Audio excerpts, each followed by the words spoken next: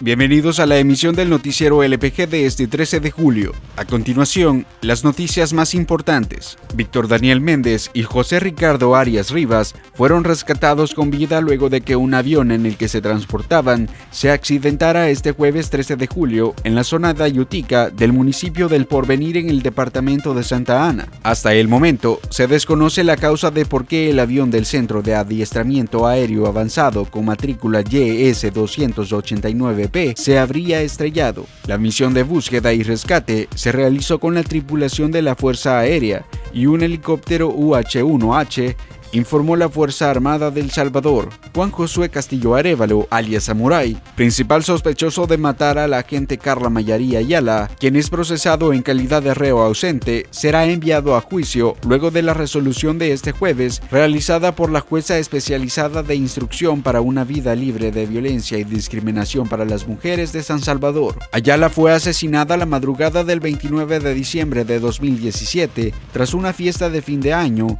en la sede del extinto Grupo de Reacción Policial de la Policía Nacional Civil.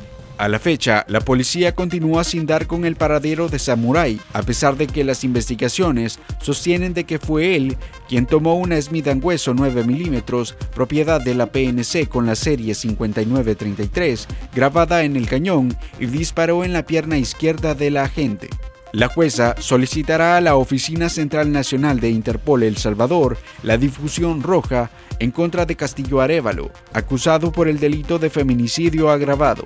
Nueve empleados de la Corte de Cuentas enfrentaron la audiencia de imposición de medidas instaladas por el Tribunal Tercero contra el Crimen Organizado de San Salvador. Los imputados fueron capturados el pasado 5 de julio y son acusados por Fiscalía de incumplir sus deberes como funcionarios y empleados públicos. La Fiscalía General de la República ha solicitado detención provisional para los nueve empleados, a quienes también se les agrega el delito de agrupaciones ilícitas, ya que según las investigaciones realizadas, estos se concentraban para realizar informes en limpio. Entre los empleados detenidos figuran jefes, directores y subdirectores de la Corte de Cuentas de la zona oriental del país y quienes habían identificado 583 observaciones en las comunas, pero solo trasladaron 48 a juicio de cuentas. Entre las municipalidades que supuestamente fueron beneficiadas por los empleados de la Corte de Cuentas están la de Chilanga, Bolívar, todos municipios de la zona oriental del país.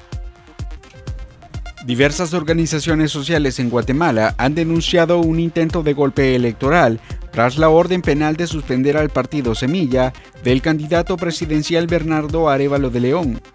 El Ministerio Público de Guatemala informó que, el partido Semilla quedaba cancelado penalmente por orden de un juez del órgano judicial guatemalteco. De acuerdo a la resolución del juzgado penal, divulgada por medios locales, el Tribunal Supremo Electoral tiene un plazo de 24 horas para obedecer el dictamen en la suspensión de Semilla o de lo contrario podría verse acusado de no cumplir la ley.